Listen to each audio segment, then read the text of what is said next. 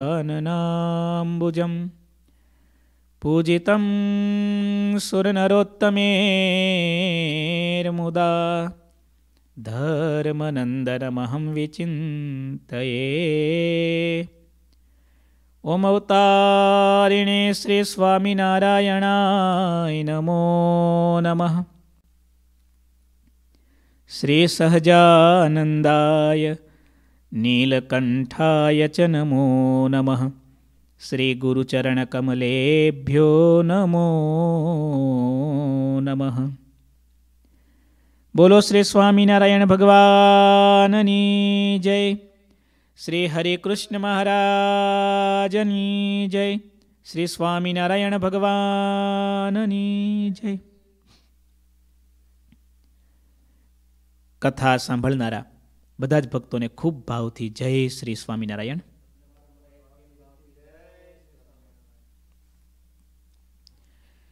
શ્રી હરિચરિત્રામૃત સાગર, પૂર્દસમું, તરંગ પિસ્તાલીસમું. સદગુરુ આધારાનંદ સ્વામી અદ્ભુત વાત લખે છે. શ્રી હરિ કો ભુજનગર પ્રતિ આવન કે સુને બાત. શ્રી હરિકો ભુજનગર પ્રતે આવન કે સુને બાત હરિજન સંત ઓર ગામ જેહી આયે તિહા હુલસાત ભગવાન શ્રીહરિ ભુજ પધારી રહ્યા છે. સાંભળતાની સાથે આસપાસના ગામના ભક્તો હરખથી ભુજ આવવા લાગ્યા. આકાશમાંથી આષાઢી મેઘ વરસે ને મોરલા જેમ ગહેકવા લાગે. સૃષ્ટિ નવ પલ્લવિત થવા લાગે, સરોવરો છલકાવા લાગે, એમ ભક્તોના હૃદયમાં આનંદ છલકાવા લાગ્યો. મારા મહારાજ પધારે છે. બધા આવવા લાગ્યા. સ્વામીએ નોંધ લીધી. કે આટલા બધા ભક્તો આવતા હતા, તેમ છતાં ઘણાક લોકલાજને લીધે, ઘણાક લોકો ઘર કામને લીધે ઘરમાં ખૂત્યા રહ્યા, ભગવાનના દર્શન સુધી ન પહોંચી શક્યા. પછી સ્વામીએ લખ્યું, હરિભક્તમાં અધિકતા અને ન્યૂનતા, એ તો એનું વર્તન હોય ને એનાથી દેખાઈ આવે છે. હું ઘણી વાર તમને બધાને કહું છું, માણસની કિંમત એના ચહેરા ઉપરથી નથી, માણસની કિંમત એની વાણી ઉપરથી નથી, માણસ માત્રનું મૂલ્ય એના વર્તન ઉપરથી જ છે તમે આટલું મેથેમેટિક્સ માનીને જીવનમાં જીવશો ને હંમેશા સુખી થશો. કોઈનો ચહેરો જોઈને છેતરાવાની જરૂર નથી. કોઈની મીઠી વાણી સાંભળીને લોભાવાની જરૂર નથી. તપાસ કરો એનો ઇતિહાસ કેવો છે? એની હિસ્ટ્રી કેવી છે? અમેરિકામાં એની ક્રેડિટ કેવી છે?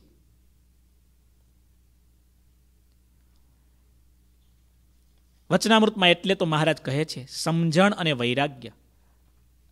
જ્યારે વિષયનો યોગ થાય અથવા આપતકાળ આવે ત્યારે દેખાઈ આવે છે. ભગવાન શ્રીહરિ કેવી અદ્ભુત વાત કરી. ભક્તપણાનું જે અતિશય અભિમાન રાખે છે, તે ભગવાનને ગમતું નથી. બસ, શાસ્ત્ર માત્રનો છેલ્લો આટલો જ સાર છે. વચનામૃતમાં પ્રશ્ન પૂછાયો કે એક એવો કયો દોષ છે? એક દોષ આવે, એની પાછળ બધા દોષ આવે. મહારાજે કહ્યું દેહાભિમાનરૂપ એક દોષ એવો છે, આ એક દોષ આવે ને, એની પાછળ બધા દોષ આવે. સાગરમાં મહારાજ એમ બોલ્યા, નિર્માનીપણાના ગુણ વિના બીજા બધા ગુણ છે ને, એ દોષરૂપ બની જાય છે. નિર્માનીપણાનો ગુણ ન હોય અને બીજા બધા ગુણ હોય માણસમાં. તો બાકીના બધા ગુણ કેવા બની જાય છે? દોષરૂપ. રાવણમાં શું નહોતું? જ્ઞાની હતો, પંડિત હતો, દાની હતો, વિદ્વાન હતો, બુદ્ધિશાળી હતો, રાજા હતો. રાવણના સારા કામનું લિસ્ટ બહુ મોટું છે. પણ એક જ સદગુણ એમાં નહોતો. કયો? નિર્માનીપણું નહોતું. અહંકારી હતો, અટંટ હતો એટલે ભક્તની યાદીમાંથી જ નીકળી ગયો. બોલો, આપણું કેવું છે? વિચારો થોડું. તુહી પાંડવ, તુહી કૌરવ, તુહી રાવણ, તુહી રામ, હૈયાના કુરુક્ષેત્ર પર પળ પળનો સંગ્રામ. ડોંગરેજી મહારાજ એમ કહેતા. રામ રાવણની કથા સાંભળીએ, કૃષ્ણને કંસની કથા સાંભળીએ, એમાં વિચાર એટલો જ કરવાનો છે, આપણા અંતરમાં ક્યાંક કંસ બેઠો છે. આપણા અંતરમાં ક્યાંક રાવણ જેવી વૃત્તિ બેઠી છે. સીતાનું હરણ કરવાની વૃત્તિ છે, રાવણની વૃત્તિ છે. કોઈકનું પડાવી લેવાની વૃત્તિ એ કંસની વૃત્તિ છે. બસ, આ કંસ અને રાવણને ઓળખી આપણી અંતરમાં પડેલા રામ અને કૃષ્ણને જાગૃત કરી એનો વધ કરવાનો છે. કથાનો સાર આટલો છે. પણ આપણે અભિમાની બની. ચાલો વાત સંભળાવી દઉં. મહારાજના સમયના ફૈબા હતા. મત્સ્યાવ ગામના રામાનંદ સ્વામીના કૃપાપાત્ર, શ્રીજી મહારાજના કૃપાપાત્ર મહારાજ મચ્છિયાઓ કેટલી વાર પધાર્યા છે, કેટલી વાર. એવરીડે મહાપૂજા કરતા, પોતે રાજા હતા. એક બ્રાહ્મણ રાખ્યો હતો, સવારે આવે, બપોર સુધી તો પૂજા ચાલે. કેટલા લોકોને દાન આપતા, પણ અહંકારી એટલે એવા અહંકારી, નાની વાતે ઘરમાં ટસલ થઈ અને અહંકારીને ઝઘડો વારે વારે થાય. પુત્ર વધુ ઘરમાં હશે, વહુ હશે, એની સાથે ઝઘડો, સાસુઓનો ઝઘડો તો જાણો છો? વહુને કાઢી મૂકી. મહારાજને ખબર પડી. શ્રીજી મહારાજને સંતો એક વાર નહીં, બે વાર નહીં, બત્રીસ વાર આ ગામમાં આવ્યા છે. મહારાજ આવતા હતા મચ્છિયાઓ રસ્તામાં એમના વહુ, એમનું ગામ આવ્યું, એમણે વિનંતી કરી, એ પણ હરિભગતના દીકરી હતા. મહારાજને થયું, અમારા ભક્તોના ઘરમાં ઝઘડો થાય એ અમને ગમે નહીં. દીકરીને કીધું, તમે માફી માગશો? એણે કીધું, હા, માગીશ મહારાજ, જાહેરમાં માગીશ. બાના ચપ્પલ માથે મૂકવા પડે, ચપ્પલ માથે મૂકીને માગીશ. મહારાજ રાજી થયા, ચાલો અમારી સાથે. એને લઈને આવ્યા. ફૈબાને ખબર પડી. મહારાજે ઘરના દરવાજામાં પ્રવેશ કરતા કરતા બાને કીધું કે, ફૈબા, અમારી એક વાત માનશો? કેટલું મોટું સામયું કરેલું, સંતો હરિભક્તોની કેટલી મોટી રસોઈ કરેલી, ઇતિહાસ તમે વાંચો તો ખરા. મહારાજનું કાંડું જાલી ઘરના આંગણામાં પ્રવેશ કરે, મહારાજે ત્યાં જ વાત કરી કે ફૈબા મારી એક વાત માનશો. ફૈબા કે મહારાજ, એક નહીં, હજાર વાત માનીશ, પણ આ દીકરીને ઘરમાં ઘાલવાની વાત કરતા ફૈબા બહુ ચકોર હતા. રાજા હોય તો કેવા હોય? ખબર પડી ગઈ કે આને લઈને મહારાજા આવ્યા છે ને કંઈક તૂત કરવાના આને ઘરમાં ઘાલવાની વાત ના કરતા. મહારાજ ત્યાં જ ઊભા રહી ગયા. મહારાજે કહ્યું ભૈબા તમે મોટા ભગત છો. અમારા ગુરુ રામાનંદ સ્વામીના તમે સેવક છો. અમે એ વાત તો કરવા આવ્યા છીએ. મહારાજને કહ્યું, મહારાજ, અમારા ડખામાં તમે ન પડો. મહારાજે કહ્યું કે ફૈબા અમને તમે શું જાણો છો? તમે ભગવાન હાથવાર પણ અમારા ઝઘડામાં ન પડો તો. મહારાજે કહ્યું ફૈબા દીકરી માફી માગવા તૈયાર છે. એની ભૂલ સુધારવા તૈયાર છે. જાહેરમાં તમારા ખાસડા જોડા માથે મૂકશે. હવે તો સ્વીકારો. મહારાજ, મેં કીધું ને, એ સિવાયની વાત કરવી હોય તો કરો. મહારાજે કહ્યું ફૈબા તો આ તમારી ભક્તિ, આ તમારો પ્રેમ દંભ જ છે ને બધું. અમારી એક આટલી નાની વાત તમે ન માની શકો. અમને ભગવાન શું માન્યા? અમે પાછા વળી જશું. તમારા ઘરનું પાણી પણ નહીં પીએ. તમારા ઘરે ઉતારો નહીં કરીએ. ફઈબાએ કહ્યું, મહારાજ, તમારે પાછા જવું હોય તો જાઓ, એને ઘરમાં ઘાલવાની નથી. શ્રીજી મહારાજ, બસો અઢીસો સંતો અને બસો અઢીસો હરિભક્તો ફઈબાના ઘરના દરવાજેથી પાણી પીધા વગર પાછા વળી ગયા. ફઈબા પાછા ન વળ્યા. મહારાજને તો ભગવાન હતા, દુઃખ ન થયું. સંતોને એટલું બધું દુઃખ થયું. આવા મોટા ભગત, આટલી મોટી મહાપૂજા કરે, આટલું મોટું દાન કરે, આટલી મોટી સેવા કરે, બધા ઉપર પાણી પડ્યું. ત્યાર પછી નંદ સંતો વિચરણ કરવા જતા હોય મચ્છાવ ગામ આવે ને મચ્છાવ ગામની અંદરથી બાયપાસ કરી નાખે, કોઈ ગામની અંદર પગ નહોતા મૂકતા.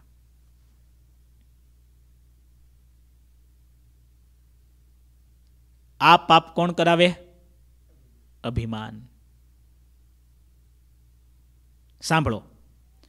સાગરમાં મહારાજ કહે છે, ભક્તપણાનું અતિશય અભિમાન રાખે છે તે ભગવાનને ગમતું નથી. ભક્તપણાનું અભિમાન એટલે કેવું? ધર્મ, ભક્તિ, ત્યાગરૂપ વૈરાગ્ય અને જ્ઞાન આ ચાર સાધન ભાગ્યશાળી હોય એને જ મળે. અનંત જન્મના પુણ્ય ઉદય થયા હોય એને આ ચાર સાધન મળે, બાકી ચારે ચાર ન મળે. ઉપર કહેલા ચારે અંગ મળ્યા હોય. પછી પણ જે ભક્ત દુર્બળ હરિભક્તને, દુર્બળ સંતને અનેક રીતે દબાવતો હોય તે શ્રીહરિને ગમતું નથી. ફૈબાને મહારાજે ચારે સાધન આપ્યા હતા. અને ઘરમાં દીકરીને જ હેરાન કરે મહારાજને ગમે. બોલો, ગમે? રોજકામાં બ્રાહ્મણ ગગ્ગાભાઈ વ્યાસ હતા. મારી આ વાત સાંભળજો. તમે મંદિરમાં આવો છો, સાધુઓને ધોતિયા ઓઢાડો છો, મંદિરમાં થાળ અને રસોઈ આપો છો, પણ ઘરમાં પરિવારમાં, સમાજમાં, જોબ ઉપર તમે કોઈક માણસને નીચોવી નાખો છો ને, આ મહારાજ બધું જાણે છે. આ મહારાજ બધું જાણે છે. મારે કહેવાય નહીં આ અમેરિકાની એક ઘટના મેં સાંભળી, એટલું બધું દુઃખ થયું એક હરિભગત. હમણાં, થોડા સમય પહેલાંની વાત, એ જોબ કરે છે. એણે કહ્યું સ્વામી, મને નોકરી મળતી નહોતી. એટલે મને નોકરી, એક સારા હરિભક્તે આપી. મને આનંદ થયો. એક મહિનો પૂરો થયો, મારા પગારનો સમય થયો, એટલે મને પગાર ઓછો એણે આપ્યો. મેં કીધું, ભગત, પગારની આપણે વાત થઈ છે. શિક્ષાપત્રીમાં મહારાજે કહ્યું છે, જેની સાથે જે કામ નક્કી કર્યું હોય અને ત્યારે જેટલો પગાર નક્કી કર્યો એટલો આપી દેવો. એટલે પગાર મેં નક્કી કર્યો, આપી દીધો. ત્યારે પહેલાં હરિભગતે કહ્યું કે, અમારે ત્યાં કામ કરનાર બધાને પૂછી લો. જે કોઈ લોકો કામ કરે છે, એ બધાના દસ ટકા અમે કાપી જ લઈએ છીએ. અમારે મંદિરમાં દાન આપવાનું હોય ને? આ હરિભગતે કહ્યું કે તમારે મંદિરમાં દાન આપવાનું હોય, એમાં અમારું કાપીનું શું કામ આપો છો? અમારે આપવાનું હોય ને? તો કે તમારું દાન આપવું બધાનું મંદિરમાં, તો તમારા બધાનું સારું થાય ને કલ્યાણ થાય ને?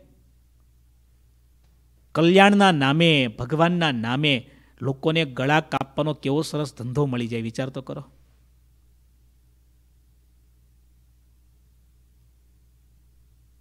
પેલા હરિભગત ઉપર વીજળી પડી, આવી ખબર પહેલેથી હોત તો?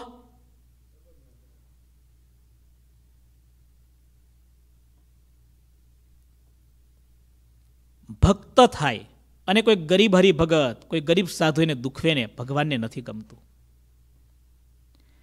કેટલી કથાઓ છે, કેટલી કથાઓ તમને કહું.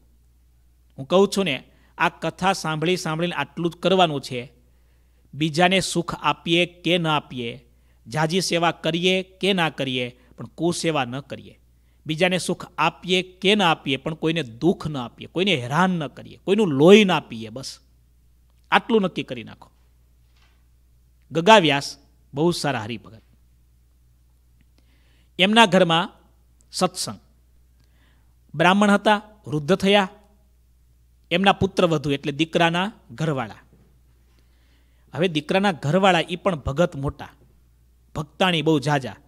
પણ હવે સસરા વૃદ્ધ થાય એટલે ઘરમાં આ પુત્રવધુનો રૂઆબ એવો જામો એવો જાયમો આને ડોહો કહીને જ બોલાવે તુકારે બોલાવે? તોછડા શબ્દથી બોલાવે. પણ આ ભગત હતા, લાચાર હતા, ગરીબ હતા, વૃદ્ધ હતા. શું બોલે? ખૂણામાં બેસીને બે આંસુ પાડી લે એમાં એક દિવસ આ ઘરવાળા બીમાર થયા. ભયંકર બીમારી. અને એમાં એક રાત્રે મહારાજે દર્શન દીધા. લાગ્યું કે હવે મારો પ્રાણ નીકળશે. બીમારી એટલી અસહ્ય હતી, મહારાજને રોજ વિનવતા મહારાજ દેહમાંથી છોડાવો છોડાવો છોડાવો. મહારાજે દર્શન દીધા. આંખો લાલ હતી, હાથમાં લાકડી હતી. લાકડી ઊંચી કરી અને મહારાજ કહે, તને દેહમાંથી કાઢવા નહીં, હજી તને નરકમાં નાખવી છે. મહારાજ, મારી શું ભૂલ? મેં તો પૂજા કરી, તમારી ભક્તિ કરી, તમારી આજ્ઞા પાડી તમારી સેવા કરી. મહારાજ કે, તારું બધું પાણીમાં ગયું. આ ઘરમાં ભગવાનના એકાંતિક ભક્ત તારા સસરા છે. કઈ ભાષામાં વાત કરો છો? કેવી રીતે એને હેરાન કરો છો? કૂતરાને રોટલું નાખો એની કરતાં વધારેનું અપમાન કરો છો? વૃદ્ધ છે, ગરીબ છે, બ્રાહ્મણ છે એટલે? આના રૂવાડા ઊભા થઈ ગયા. મહારાજ, મને માફ કરો. મહારાજ કે માફ કરવા નહીં. તને આ દેહમાં પાછો મોકલી પાછો મોકલી મોકલી રહ્યો છું. આ દેહમાં તું સાજી થઈશ. શસ્ત્રને રાજી કર. એની સેવા કર અને જો એનો રાજીપો નહીં મળે ને, તો તારે ઘણા જન્મો સુધી નરકમાં જવું પડશે ને યાતના ભોગવવી પડશે. મહારાજે પાછી જીવતી કરી, સાજી કરી, પછી તેણે ઘણી બધી સસરાની સેવા કરી, રાજીપો લીધો. પણ કહેવાનું શું? ભક્તિ કરનારા પણ ઘણીકવાર બહુ મોટી મોટી ભૂલો કરતા હોય છે અને બધી ભૂલ અભિમાનથી થતી હોય છે. ભૂલ માત્ર થવાના કારણ બે જ છે, અહંકાર અને આસક્તિ. બધી વાત હમણાં સ્વામી કહે છે, સાંભળો. આપણા સત્સંગમાં જેનું કોઈ સ્થળે કોઈ બાબતમાં કાંઈ ચલણ ન હોય, જેને કોઈ પણ અધિકાર ન હોય, એવા સંત કે એવા હરિભક્તને દુર્બળ એટલે ગરીબ જાણવા. ફરીવાર વાંચું, ગરીબ કોણ છે? આપણા સત્સંગમાં જેનું કોઈ સ્થળે કોઈ બાબતમાં ચલણ ન હોય, કોઈ અધિકાર ન હોય. મહારાજના સમયમાં શું થયેલું? એક બહુ મોટા પાર્ષદ, નામ નથી લેતો, ઇતિહાસમાં લખ્યું છે. સંતોને હેરાન કરે. કેમ કે કોઠારી એને બનાવેલા. અમારે સંતોને મારી પાસે કોઈ ન હોય, ક્રેડિટ કાર્ડ નહીં, ડેબિટ કાર્ડ નહીં, એકે કાર્ડ નહીં. અમારે ધોતિયું ફાટે તો ક્યાં જવાનું? કોઠારી પાસે કે બાપજી, આ ધોતિયું ફાટી ગયું આપણ કેમ વારે વારે ફાડી નાખો છો? શું એવું તમે મોટું કામ કરીને ધોતિયા ફાટી જાય છે? મંદિરના પૈસા બગાડતા શરમ નથી આવતી? આવા ઘણા કોઠારી તો કેટલી પેલી કહે ને, ચા કરતાં કેટલી ગરમ હોય. અમે તો જોયું છે, અનુભવ્યું છે, અમે પણ દાદા બહુ, હા. જેનું ક્યાંય ચલણ ન હોય.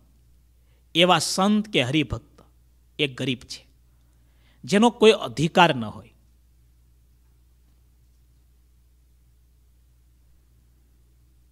અને માણસને અધિકાર મળે ને કોઈ પણ પ્રકારનો. પછી બહુ દાદાગીરી કરતો થઈ જાય, હા. બધા ઉપર હાવી થઈ જાય. બધાની માથે ચડી જાય. પામી મોટો અધિકાર, જો ન કર્યો ઉપકાર, તો અધિકારમાંથી અગયો અને પાછળ રહ્યો ધિક્કાર ધિક્કાર અને ધિક્કાર. આજની વાતો તો બધી સાંભળવા જેવી છે, વાંચું છું, સાંભળો. બળિયા બળિયા બધા એક થઈને.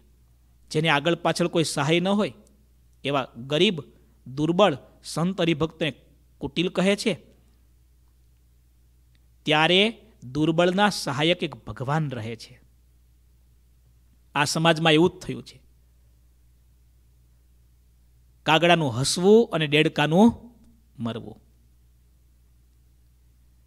કંડારી ગામમાં એક રમણ ફેંટા કરીને માણસ આજે મારે યાદ નામથી નામ સાથે વાત કરવી પડે છે. કંડારી ગામના જેટલા માણસો છે બધા જાણે બિચારા.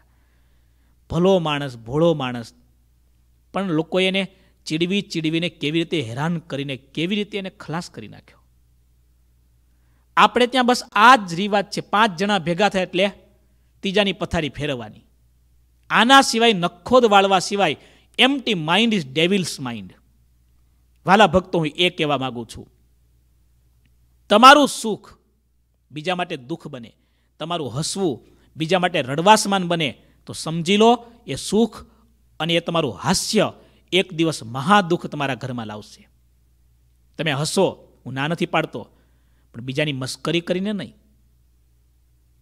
એટલા માટે તો કહેવાય છે ને, રોગનું મૂળ ખાંસી અને ઝઘડાનું મૂળ હાસી. તમને કોઈનું અપમાન કરી, ઠઠ્ઠા મસ્કરી કરી, ગંદી મસ્કરી કરી હસવાનો અધિકાર નથી.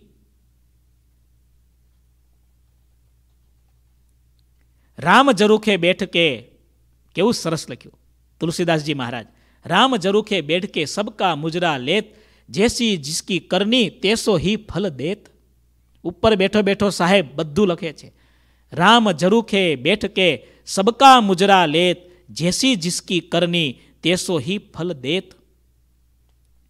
પરનું અમંગળ ચાહતા, નિજનું અમંગળ થાય. ઓલા અંજની સૂતને બાળતા આખી લંકા સળગી જાય. બીજાનું બગાડવું. બીજાને હેરાન કરવો. બીજાની મસ્કરી કરવી. બીજાનું અપમાન કરવું. બીજાને તોછડા શબ્દ કહેવા. આ બધા પાપ છે. સમજાણી મારી વાત? આ બધું મહાપાપ છે. કોઈ પણ ભાષામાં તમે વાત કરતા હોય, ભગવાનના નામે કરતા હો સંતોના નામે કરતા હો, શાસ્ત્રોના નામે કરતા હો, પણ યાદ રાખજો, આ બધાનું ફળ ભોગવવું પડે છે. જુનાગઢમાં એક સાધુ, હરિનારાયણ દાસ એમનું નામ. ગુણાત્યાનંદ સ્વામીએ મંદિર બનાવ્યું ત્યારે એમણે ખૂબ સેવા કરેલી. પણ સાધુ સેવાભાવી સારા, પણ બોલી એની એટલે ઓહો હો કરવતની જરૂર ન પડે. ઘણા લોકો એવા હોય. એને તલવારની કરવતની જરૂર ન પડે. કહેવાય છે ને, શસ્ત્રના ઘા તો રૂજાય છે, શબ્દના ઘા રૂજાતા નથી. શું મહારાજે લખ્યું? બળિયા બધા એક થઈ જાય અને બિચારો કોઈ ગરીબ હોય, દુર્બળ હોય, નાનો માણસ હોય ને એવી મસ્કરી કરે ને એટલો હેરાન કરે, એનો ખલાસ કરી નાખે.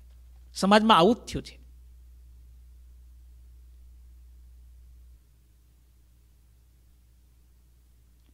મહાભારતની એક કથા વચ્ચે યાદ આવી કહી દઉં દાદા.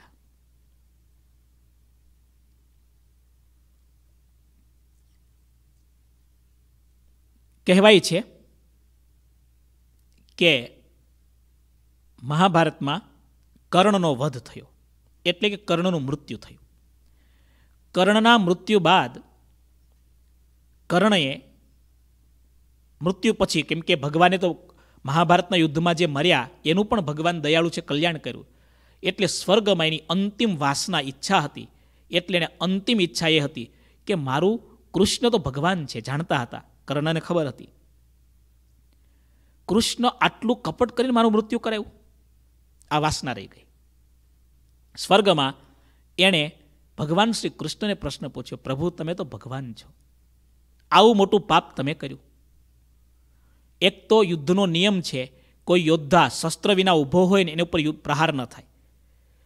મારા રથનું પૈડું એક ખાબોચિયામાં પડ્યું છે. મેં શસ્ત્રો નીચે મૂકી દીધા. રથમાંથી હું નીચે ઉતર્યો અને તમે અર્જુનને એમ કહો છો, તું બાણ માર. અર્જુન કે, પણ પ્રભુ, આવું પાપ મારાથી કેમ થાય? તમે અર્જુનને પ્રોત્સાહન આપો છો. અર્જુન, દ્રૌપદીના કપડાં ખેંચાયા. ત્યારે આ શું બોલ્યો તો? યાદ છે તને? અભિમન્યુનો વધ થયો ત્યારે આ શું કરતો તો ખબર છે તને? માર અર્જુનાને. પ્રભુ અર્જુન પાસે, તમે આવું પાપ, હું શસ્ત્ર વિના હતો, નીચે હતો અને મારું માથું કપાવી નાખ્યું. ભગવાન શ્રી કૃષ્ણે કહ્યું, અભિમન્યુ, મને પ્રશ્ન તમે પૂછ્યો બરાબર છે, પણ એનો જવાબ પણ તમને હું પૂછું છું, બતાવું છું કે મહાભારતનું યુદ્ધ ભલે પાંડવ અને કૌરવ તરફથી હતું પણ એમાં જે કોઈનો વિનાશ થયો છે ને બધાનો મેં કર્યો છે. અર્જુન તો નિમિત્ત હતો. નિમિત્ત માત્રમ ભવ સવ્ય સાચીન આ બધાને મારવાનું મેં નક્કી કર્યું હતું. કર્ણ, તમે મહારથી છો. તમે યુદ્ધનો નિયમ મને શીખવાડો છો. પણ તમને ખબર છે, એ જ યુદ્ધના મેદાનમાં, એ જ ખાબોચિયાવાળી જગ્યામાં અર્જુનનો દીકરો અભિમન્યુ ચક્રવ્યૂહની રચના થઈ. અર્જુનને ભગાડી દેવામાં આવ્યો. અભિમન્યુ અંદર ગયો અને અંદર અભિમન્યુ આવ્યો. એક સાથે તમે કેટલા બધા કૃપાચાર્ય, દ્રોણાચાર્ય પિતામાં ભીષ્મ, મહારથી કર્ણ, દુર્યોધન, દુઃશાસન, શકુની આ બધા યોદ્ધાઓ ભેગા થઈ અને અભિમન્યુ પડ્યો છે, લોહીથી લથપથ થઈ ગયો છે. એને એક પછી એક યોદ્ધાઓ મારતા હતા. આખું બ્રહ્માંડ ભરાય આટલી ચીસો એ નાખતો હતો. આટલું દુઃખ એના શરીરમાં હતું. રૂવાડે રૂવાડેને શસ્ત્ર વાગ્યા હતા. ત્યારે કર્ણ તમે નીચે ઉતર્યા. ભગવાન કૃષ્ણ કહે છે. અભિમન્યુની આંખમાં પ્રાણ આવી ગયા હતા. એટલે મરી જ ગયો હતો. આંખમાં પ્રાણ હતા. એને એટલી બધી તરસ લાગી હતી. એણે ઈશારો કરીને કહ્યું કે કર્ણ મને થોડું પાણી પાઈ દે મરતા પહેલા. બાજુમાં એક ખાબોચ્યું હતું. કર્ણ, તારા મનમાં દયા પ્રગટ થઈ. તને એમ થયું કે આ તો મરવાનો છે, પાણી પાઈ દઉં. પણ તને એમ થયું, નહીં નહીં, હું આને પાણી પાઈશ, દુર્યોધનને કેવું લાગશે? મારો મિત્ર છે. બધાએ શસ્ત્ર માર્યા છે, તો હું પણ એક ઘા મારી દઉં કર્ણ, એ જ પાણીનું ખાબોચ્યું અને એ જ અભિમન્યુ. અને તે શસ્ત્ર પ્રહાર કર્યો હતો કે નહીં? ત્યારે યુદ્ધના નિયમ ક્યાં ગયા હતા? ત્યારે ધર્મની વાત ક્યાં ગઈ હતી? અને કહેવાય છે કે તે પ્રહાર કર્યો અને અભિમન્યુનો પ્રાણ ગયો મને એ ખાબોચું યાદ રહ્યું એ કર્મનો સિદ્ધાંત યાદ રહ્યો, એ જ ખાબોચિયામાં તારા રથનું પૈડું ભરાયું, તું ત્યાં જ નીચે ઉતર્યો અને એ જ હાલતથી તને માર્યો. બોલ, હવે આમાં કાંઈ તારે પૂછવું છે? કર્ણ રડી પડ્યો, પગમાં પડી ગયો, પ્રભુ, માફ કરજો. હવે જિંદગીમાં ફરીવાર તમને પ્રશ્ન પૂછીશ જો પહેલે કિયા સો મિલતા હૈ ફરિયાદન કર ફરિયાદન કર. એ જન્મ તુજે અણમોલ મિલા, બરબાદન કર બરબાદન કર. આ જગતમાં લગભગ આવું થયું છે. મોટા ચોર નાના ચોરને દંડ આપે છે. કેવું અદ્ભુત મહારાજ લખે છે. તમે વાંચો, સાંભળો, જુઓ. અને તે શ્રીહરિએ જેમ ગર્ભવાસમાં સહાય કરી હતી તેમજ દુર્બળ અને ગરીબ સંત ભક્તની સહાય કરે છે. પાંડવ પાંચ હતા, એની પાસે કશું નહોતું, રજવાડું નહોતું, કશું નહોતું, મોટા મહારથી નહોતા, ગરીબ હતા દુર્યોધન એમ હતું, પાંચે પાંચને, એવા હું ફેંકી દઈશ ને જિંદગીમાં ક્યારેક આડા નહીં આવે. દુર્યોધને દાદાગીરીથી, સત્તા સંપત્તિના અધિકારથી, ભીષ્મ, દ્રોણ, કૃપાચાર્ય બધાને એક બાજુ કરી લીધા. પણ તમે જાણો છો, ભગવાને કોનો પક્ષ રાખ્યો? પાંડવનો. પાંચમાંથી એકને મરવા ન દીધા અને કૌરવમાં એકને બચવા ન દીધા, બચવા ન દીધા. આ પાંડવ અને કૌરવની કથા નથી, આખા કળિયુગમાં આમ જ ચાલવાનું છે, આખા કળિયુગમાં. મને એક ઘટના યાદ આવે છે. ઓગણીસો બાણું કે ત્રાણુંની વાત છે. મુંબઈમાં ગુરુજી સાથે મેં નાના હતા ગયા. બે ભાઈઓને ઝઘડા ચાલતા હતા. બહુ નાના હતા. અમે કંઈ એટલું બધું સમજતા ન હતા, પણ ગુરુજીની સાથે ને સાથે મારે રહેવાનું હોય એટલે બધી ઘટનામાં મિટિંગોમાં હું જોડે હોય, બાજુમાં બેઠા બેઠા સાંભળીએ. ગુરુજી સમજાવે, મોટા ભાઈએ નાના ભાઈની બધી પ્રોપર્ટી પડાવી લીધી હતી. નાનો ભાઈ બિચારો કંગાળ થઈ ગયો હતો. રડે, એના બાપુજી રડે કે દીકરા, તારો ભાઈ છે, એ દુઃખી થાય તો હું દુઃખી આમાં તું મારી સેવા કરે, મને સાચવે, પણ તું મુવા થોડું એને આપી દે. ગુરુજી સમજાવે, પણ મોટો ભાઈ જે બેફામ બોલતો હતો ને, મેં આંખથી જોયેલી ઘટના તમને કહું. પૈસા મળી ગયા, અધર્મથી માણસ સુખી થાય છે, થોડા દિવસ માટે. ખોટું કરીને માણસ સુખી થાય છે, થોડા સમય માટે.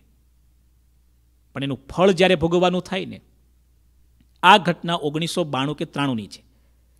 એના થોડા વર્ષો પછી અમે મુંબઈ ગયા હતા અને ખબર પડી કે એ હરિભગત આગુ પાછું કર્યું હશે ઇન્કમ ટેક્સવાળાની રેડ પડી અને પછી તો બધા ભાગી ગયા અને એમાં પછી રેડવાળાએ બધું લઈ લીધું અને પછી આને પકડ્યા જેલમાં નાખ્યા. પછી તો કેટલા દુઃખી થયા, વિચાર તો કરો તમે. કોણ સુખી થશે?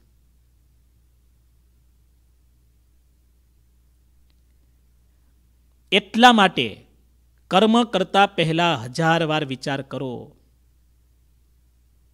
અંધારામાં કરેલું પાપ એનું ફળ અંજવાળામાં ભોગવવું પડશે. ભગવાન ગરીબની સહાય કરે છે. આ સિદ્ધાંત છે. યાદ રાખજો. કારણ કે મોટા માણસો પછી અભિમાને કરીને પાપ કરે અને બિચારા જે પુણ્યાત્મા ગરીબ હોય એને, એનો દ્રોહ કરે. એટલે બમણું પાપ કરે. એટલે મોટા અધિકારવાળા માણસોને વધારે સાવધાન રહેવાની જરૂર છે. કોઈ પણ જગ્યાએ. આજે મને ભગવાને અધિકાર એટલે કથા કરવાની છૂટ આપી, એટલે હું બોલવામાં ગમે તેને ગમે તેમ તોછડા શબ્દથી કહી દઉં, તો ઠાકોરજી સહન ન કરે. તમને ઘરમાં મોટા બનાવ્યા છે, એનો મતલબ કે તમે બધાનો દ્રોહ કરો, તમને કોઈક પ્રકારનો અધિકાર આપ્યો છે, સત્તા આપી છે, તમે તમારા ઘરના પાંચ પચીસ હરિભક્તો સભ્યોને રંજાડો, ભગવાન નહીં છોડે.